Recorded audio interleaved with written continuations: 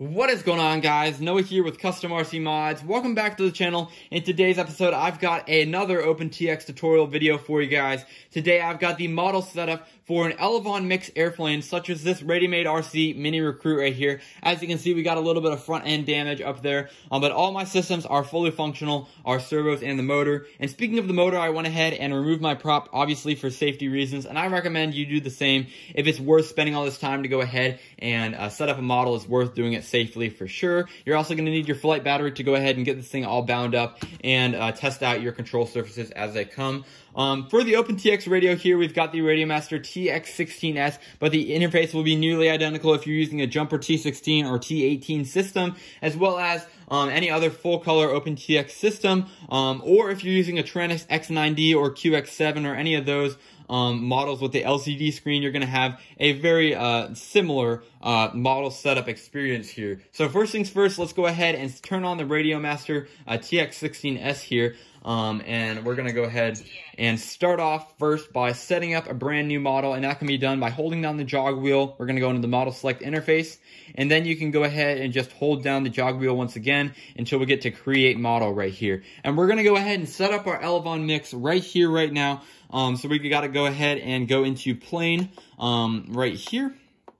And then for the motor, obviously the motor is on channel 3. The original um, channel mapping for this radio right here is AETR Elevon or elevator, um, aileron, elevator, throttle, rudder, um, just like that. So channel 3 is perfect for um, throttle there. And then, of course, we have our ailerons. And this is kind of where we start to get into things you want to pay attention now. Um, we got channel 1 and channel 2. On my specific model right here, we have it plugged into um, the aileron and the elevator port on the DSM 11RX receiver over there. So that's going to be A and E, which is channel 1 and 2 on this channel mapping um, protocol right here. So we're going to go ahead and do channel 1 and channel 2 just like so. And then we can go ahead and page um, over to past flaps. Of course, we don't have to worry about that. And this is where you really want to lock in. And this is the nuts and bolts right here of how to set up an Elevon mix. We're going to go ahead and select uh, two channels, one for elevator and then one channel for rudder. So you can see we've got both A and C right there, which are controlling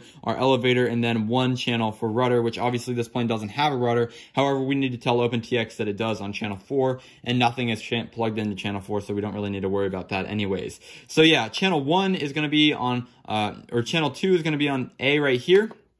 And then uh, we can go ahead and switch back to channel 1 right there on C. And channel 4 is obviously our rudder AETR, um, so we don't really need to worry about that as well. And then we can go ahead and page over and confirm that we've got everything all um, perfect and then press return and we are good to go. All right, guys, so now we've got the wizard all taken care of. The next thing that we're going to focus our attention to is the model setup window. So we're going to hold down the model key just like so. And just to confirm that we've got our mix set up properly, you can see that we've got elevator and aileron mixed together on channels 1 and channel 2, just like that. So that is all good and proper. We're going to go ahead and back out over to the model setup, which is the first little window just like so. This is where you can go ahead and name your model like that, and you can select an image, you can set up timers, but we're going to do all that a little bit later just for the sake of time, and we're going to scroll up to our internal RF right here, um, and I'm going to select uh, multi, so just scroll over one, and obviously you're going to get to multi, and then you can select that again, and we're going to select our protocol. Like I said, we're running a 11RX, a DSMX receiver over there, so I can go ahead and scroll back to DSM, is in alphabetical order, of course,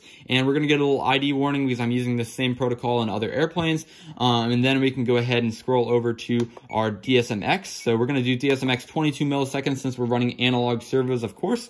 Um, and there we are. Just like that, you can see our protocols all set up. DSMX 22 milliseconds, and that's all good and proper. So now we're going to go ahead and focus over um, our attention over to the plane. You can see that we've got the bind plug installed in the receiver here, and we're going to go ahead and take our battery and plug it into the ESC like so. And our bind mode is signified, of course, by the flashing LED. So now we can scroll down to our little bind button here. And now we are in bind mode, signified by the siren, of course, as well. And of course, we've got a flashing light that's going to turn solid here in a second. And as you can see, just like that, we've got our Elevons all set up just how we want them. That's perfect. You can see that our um, surfaces come up to meet the stick just like so. And this is wonderful. It's, I mean, it's fairly easy to do. You just got to go ahead and set up dual elevators in your setup wizard and you are good to go. If you guys are looking for a more manual um, mix solution, you can go ahead and take a little screenshot of this right here and set up the mix just like that. Um, but I think it's a lot easier personally to go ahead and use that little setup wizard. Um, it does a lot of that mixing for you um, and it makes everything a lot easier in the long run.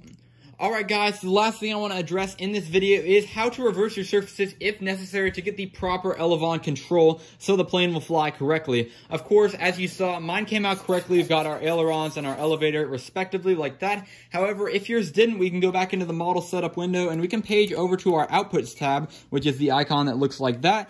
And we're going to be obviously adjusting channels 1 and channel 2. Uh, the first two just like that. We can go ahead and select channel 1 and we can go over here to this little arrow a column right there and reverse uh, the direction so that we get the desired up and down movement um, in our elevons. And this is definitely something that is super nice with OpenTX is that it's super easy just to go ahead and adjust it um, because if you have your ailerons controlling your elevator um, or things are backwards and things like that, this is all you really have to do in order to get things proper with, again, a mix of your direction um, changing um, and reversing just like that. And then you should be pretty much good to go. If you need to do any additional work on there, all you really have to do is just go ahead and swap out your inputs, so your stick uh, commands between your elevator and your ailerons just like that. And all you have to do there is just go ahead and edit your input command. Um, and then instead of ailerons, you can switch that over to elevator um, just like so. But that's all there is to it, guys. That's all it takes to go ahead and program a wing into your OpenTX radio system. And it's fairly simple overall.